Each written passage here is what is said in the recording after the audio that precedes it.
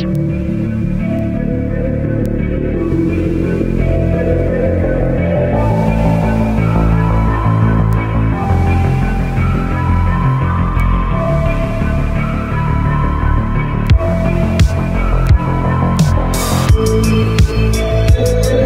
Österreicher hat ein Vaterland, liebt es und hat Ursache zu lieben. Dieses Österreich ist nach dem Großen dem gerade die Deutschen dieses Landes zu den besten Verteidigern unserer Heimat geworden sind, zerrissen worden. Das kleine Österreich ist uns wieder als Heimat geblieben. Wirtschaftlich ausgeblutet, wirtschaftliche Zusammenhänge zerrissen, Vertrauen in unsere eigene Kraft erschüttert. Selig zerrissen hat dieses Land seine neue Geschichte begonnen. Wirtschaftliche Schwierigkeiten, soziale Spannungen und noch mehr die politische Verhetzung haben in unserem Heimatland in den ersten 14 Jahren ein wirkliches vaterländisches Gefühl, wirkliche Heimatliebe kaum aufkommen lassen. So hat diese Regierung der die vaterlandstreue Bevölkerung vertreten fühlt und fühlen kann, es übernommen, der wirtschaftlichen Schwierigkeiten Herr zu werden, sozialen Frieden in dem Lande wiederzugeben und auch seelisch dieses Volk neu aufzubauen, Liebe zur Heimat wieder lebendig zu machen. So stehen wir vor dem Neubau unserer Zeit. Wir werden auf wirtschaftlichem Gebiet in der Sicherung des Friedens konsequent weitergehen wir wollen in der Abwehr jeweils so weit gehen, als man uns dazu zwingt. Darauf kann man sich aber verlassen, dass wir jeder Situation gewachsen sind. Wir richten an alle Österreicher den Appell, einzig zu bewahren, nicht falschen Hoffnungen nachzulaufen, sondern treu zum Vaterland zu stehen. Zeit liberal-kapitalistischer Gesellschaft und Wirtschaftsordnung. Zeit marxistischer Volksverführung Zeit demagogischer Volksführung und absoluter Parteienherrschaft ist vorüber. Wir wollen den sozialen, christlichen, deutschen Staat Österreich auf ständischer Grundlage unter starker autoritärer Führung. Führer sind uns dabei die Liebe zum Vaterland, Führer ist uns dabei der Glaube, Österreich über alles, wenn es so will.